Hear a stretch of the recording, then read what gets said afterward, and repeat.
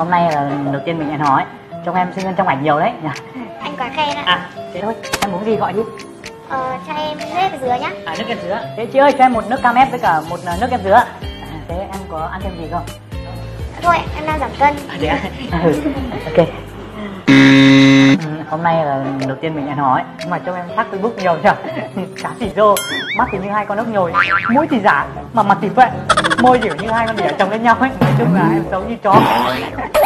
Thật với anh ý, lớn lên đến đây cũng chỉ vì cốc nước thôi anh ạ. Ờ, á? Nhưng mà trông anh có đến nỗi nào đâu.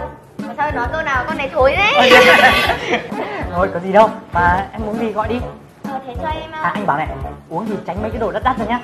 Thôi em uống mẹ nước lọc đi. Béo như con lợn thế này uống làm gì nhiều đúng không? Cho anh vừa xấu, lại vừa kẹt xỉ nữa nhỉ? Cuộc sống mà em có gì đâu mục đích hôm nay hẹn em ra đi uống nước ấy cũng chỉ để chén em thôi. Cũng chỉ để chén em thôi.